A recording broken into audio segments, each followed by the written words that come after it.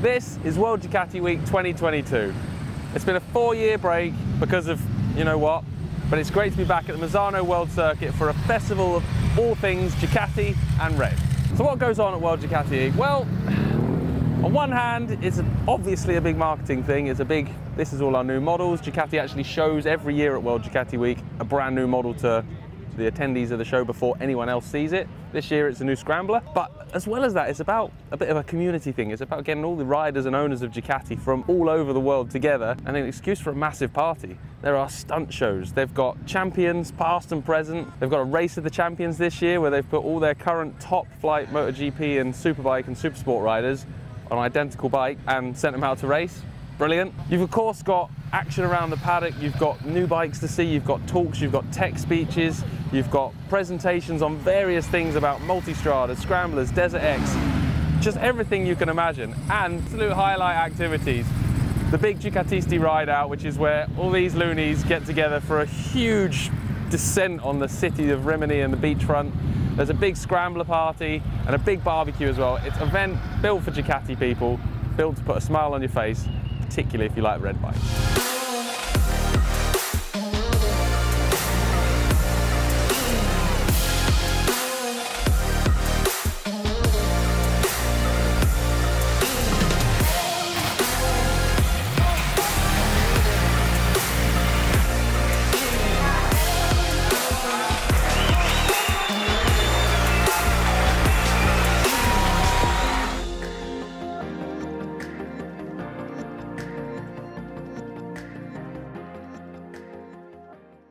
One of the highlights of World Ducati Week every year is that they always show a new model. We've seen the first Diavel here, we saw the first of the Scramblers, and this year it's going to be an update to the pretty iconic Scrambler range.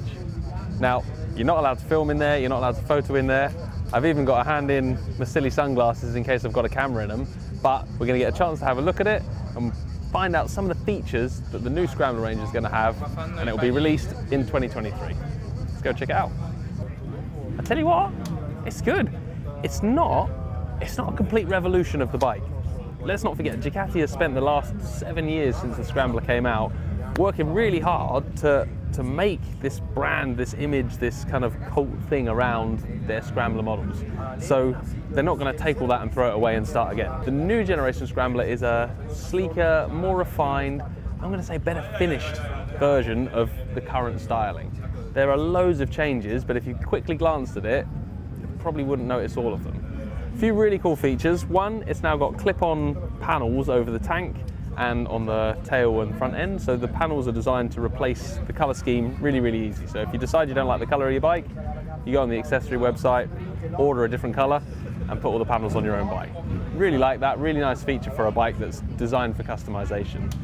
One of the other things they've done, they've added proper ABS with cornering ABS, ride-by-wire with two riding modes to give the bike a little bit more of a easy feel for the newer riders coming onto them. They have assured me that the ABS will have a mode where you can turn the rear wheel ABS off because, let's face it, it's a really good bike for doing skids and we don't want to lose that.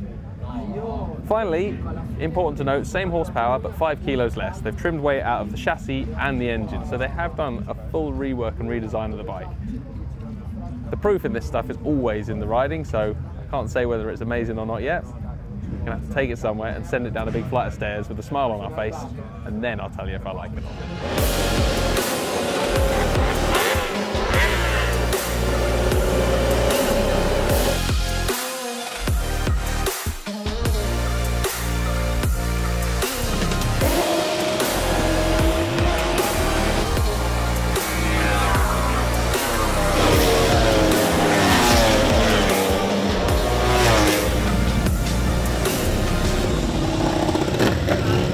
Us, obviously, we're spoiled brats, so 20 minutes on track is a long way, long way to come to Italy for that. But the whole ethos with Ducati Week is it's about the riders. It's not so much about showing off the factory, it's about the people that come here and the Ducatisti as they call them. This is DRE riding experience, so this is Panigale V4S. Sign your name on a list and they let you out on track on it. We've had some action over the last few days. It's about 40 degrees on track, there's a huge mix of riders here.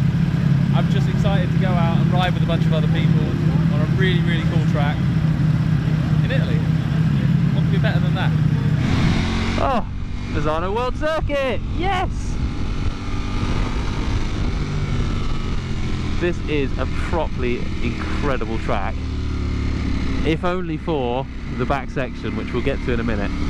It's been a decade since I last rode here. That was with Bike World at World Ducati Week.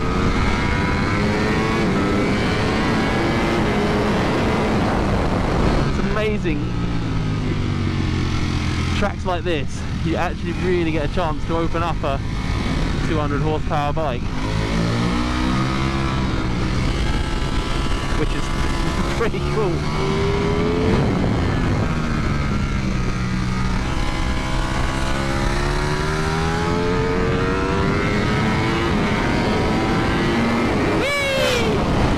Not gonna send it through there, end doing that. There's a good friend of mine from a Belgian magazine. Always good to have a little chase with people on track. Shoulder check, classic road rider move. We'll forgive him that.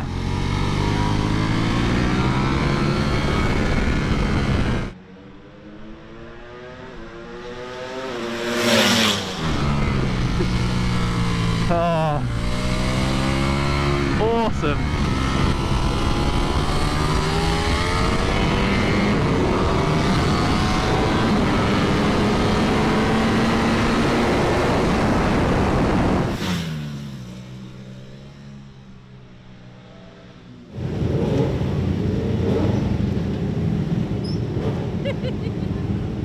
Well, we've done further research and motorbikes are still awesome. Definitely.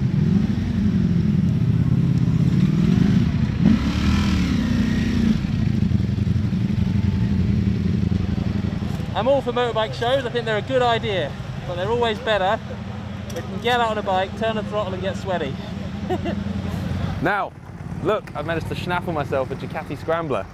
This is for my favourite bit of World Ducati Week, and it is what they call the Ducatisti Parade.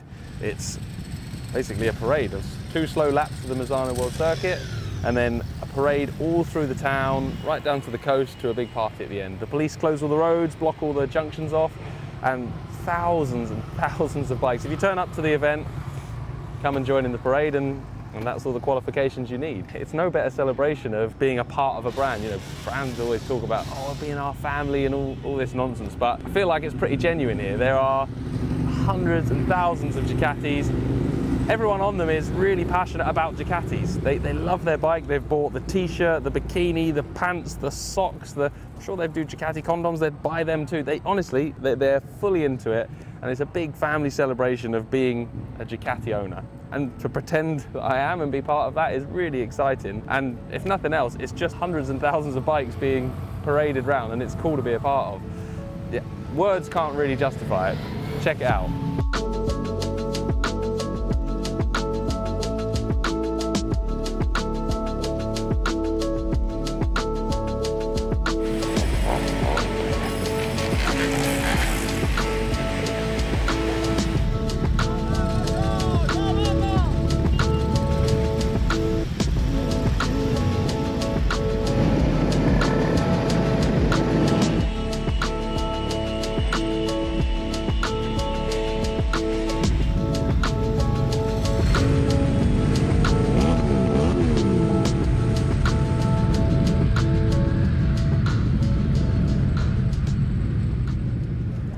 Imagine if you could take all of the best riders in the world, put them all on identical bikes, and then make them race.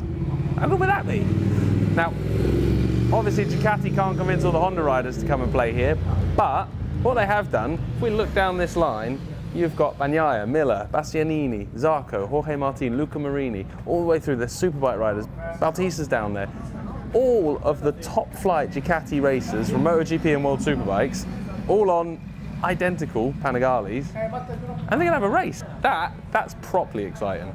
I say identical bikes, they've actually all been painted up in the team's racing colours. They look stunning. I have to say, Bastianini and, and Antonio's bikes with the sort of flat mauve colour looks, in the flesh, incredible. I'm always interested to see how identical they are, because let's face it, these guys are racers, these teams are race teams, I'm sure there's going to have been an, at least an attempt for some uh, tomfoolery underneath the plastics, but it's time to go and see the race and we'll see what happens and see whether they do a tech inspection afterwards.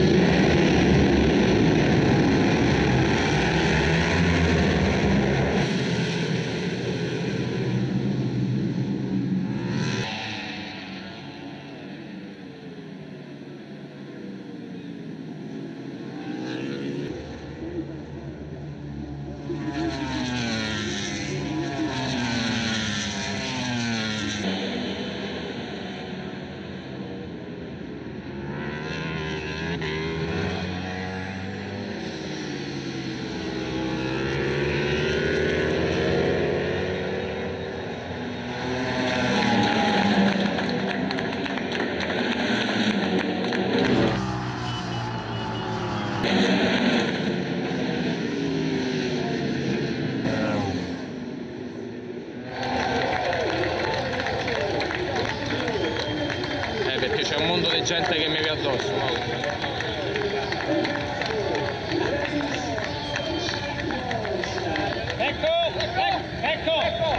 Now this is, it's got to be my favourite, no, it's my second favourite bit of World Ducati Week. My favourite bit is the parade with all the bikes and the, the revving and the beeping. That's, that's chaos and I love it.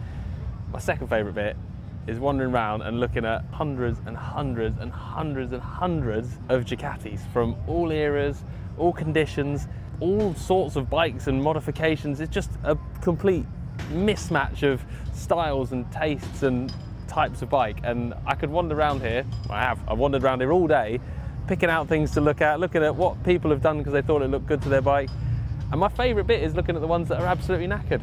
Beautiful 998s and 748s that are hammered. In fact, I've just spotted there's a Panigale on slicks and he's ridden here on the road. It's brilliant. It's absolutely bonkers. Now, one of my all-time favourite motorcycles and definitely one of my favourite Ducatis is the 1199 Superleggera. It looks like a posh Panigale, but it's got a magnesium frame, it's got hand machine components. It is a phenomenally well-crafted bit of kit and a super exquisite thing. And there's two. Bonkers. Sorry. Come on, it wouldn't be World Ducati without Chris wearing some stupid sunglasses. Can you have a blue Ducati? Of course you can. Is it right? No one knows, but I think it looks awesome. Certainly stands out. It has been said that old Valentino wasn't the success at Ducati that everyone hoped he'd be, but clearly some people still miss him. Look at that, matching Rossi bikes, matching Rossi helmets. Love it. It's not very often you see one of these, and it's really, really rare that you see one in the wild being ridden on the road. We've just spotted this Desmo RR, but more than that, check out the tyres on it. They're absolutely shredded. Oh, got distracted by an 848. Nice. So many bikes everywhere you turn. Heaven. There are so many multistradas here, and you see loads of them turning up here, couples, two up on them, loads of them in town, every restaurant. It's, it feels like people are using them as their transport. They're not having them as a weekend toy, they're not having to go touring this summer on, they're just using them to get around. It's always nice to ride motorbikes in the, in the good weather for sure, but in the cities, certainly down this coastal area we've been in, there's nowhere to park a car, so it makes sense. Love it. We move to Italy now? I gotta admit, the Ducati Monster's a bike that's always, I don't know, never really hit a chord with me. I, I, I like them, I enjoy riding them, but it's never a bike that I've lusted after. But out here, in this kind of flat in between little cities, cruising down the coast, farting about town type territory, you know what? It's, it feels like the perfect bike out here, and there's a squillion of the things all over the place. Being an old Luddite, I think the old 900 air-cooled ones, I, I'm really into them. Rattly clutches, proper old air-cooled Ducati style. But yeah, right through to the modern ones, they're everywhere in every cafe. And it feels like the Scrambler's trying to take over from that as that bloke driving past beeping it illustrated nicely. But yeah, I think the Monster will always have a special place in Ducati people's heart and in Italy. It makes sense here. Look at that. M900 fan, I'm going to find you in the UK, buy you a pint because you're a flipping hero. Monster 900, sidecar built on, controls in the sidecar. Hell yeah. Now this, this is exciting. We're going to get a go on the what they're calling the Moto X2. So this is the two-seater MotoGP bike that Randy Mamola has been doing for years ago. It's a, a long-standing thing. Ducati was saying they've actually put around 6,000 people in total on the backs of these bikes, not at the same time. And they've really kind of polished the process, they've refined what the bikes are, what they do. The actual tech specs of the bike are super interesting, so I just want to talk you through some of the, the features and the changes on the two-seater bike.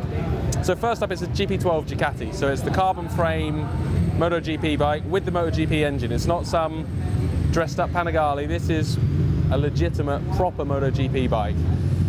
In terms of the engine, they've taken 1800 RPM off the, off the rev limit at the top. The main reason being that when you dump a pillion on the back of it, you can't use any more power. It's about 250 brake, but with a pillion passenger sat right far back on the bike, there's only, we're saying up to fifth gear, you still can't use full, throttle because there's the bike's got so much power anyway, it just wants to wheelie. The back end itself, up to the sort of back of the rider's seat is the standard subframe, and then they've got a carbon monocoque bonded to that and bolted, which supports the pillion's weight and supports the rear foot pegs and gives you that kind of structure to work with. Now the key thing, as anyone who's been a pillion on anything knows, is where to hold on. The tank grips there give you a little basis to actually lean and brace, mainly on the braking, which is where the biggest forces are. To achieve that, the fuel tank is a CNC machine from solid tank. It's a one-piece tank, big block of aluminium, and they machine it all out to give the cutouts for the grips and to give it enough strength for the, the forces and the loading that are going through those handlebar grips, tank bar grips if you like. So that's like a proper exquisite bit of kit. Other changes, they were saying because the rider and the pillion have the weight so far back, you can't open the throttle as hard, but you can brake harder in a way even harder than a MotoGP rider can brake because they're limited by the bike trying to stop it. With that in mind, the bike has a steel steerer tube rather than an alloy one because they're generating up to 1.7 G under braking, so the forces are really, really strong.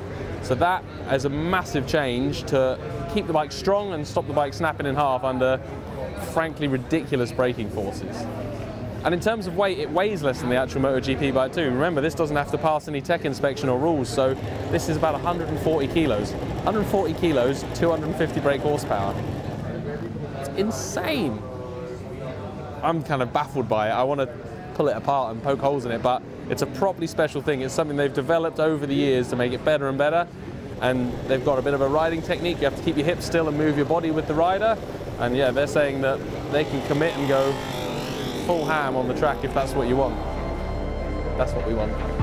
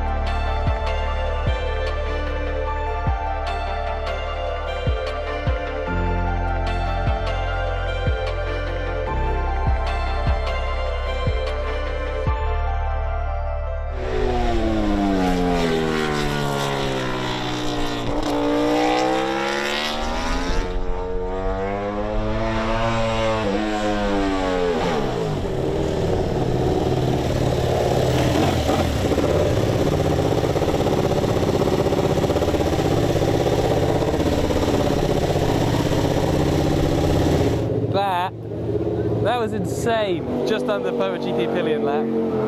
Oh, as, as they said before, the braking forces are phenomenal. But for me, the highlight, and always the highlight of Misano, the, the flat out kink on the back straight. How fast he rode that with a pillion, slapped the bike on its side, and then pinned the throttle out of there right onto the curves. Oh, that is a properly epic experience awesome. We are we are done. We have had a hell of a time at World Ducati Week. The World Ducati Week thing is still entertaining because it's three days, but It has been a really, really good year. The, the takeaway for me always from this event, uh, it's the third one I've been to now. Ducati, lovely, new bikes, lovely MotoGP teams, all that stuff, very, very nice, great. But it's the celebration and the people and the, the fans and the, the whole idea of just taking over a track and a town for, for three days for a big motorcycle party and meeting loads of people. I've tried to get out and talk to as many other people from not just sort of dealers and other journalists, but like riders and people who've turned up, people from Germany who've ridden here on their bikes, people from loads of bikes from England here, loads of bikes from all countries, Belgium, France, I can't even remember any European countries now, but loads of people from loads of different places. Americans, Japanese, it, it's a, a global kind of gathering for people who like Ducatis. And whether you're a Ducati person or not, it's an incredible thing to see this celebration of these bikes from all over the globe. I love it, and I think you know more than the marketing side and the Ducati thing and the, the swank and the the pomp and circumstance of all the MotoGP teams. Like that, that's lovely, and it's cool to see that, and it's cool to see those guys outside of a race paddock. But it's just a great place to be if you like motorbikes, and I like motorbikes a lot. I'll be back.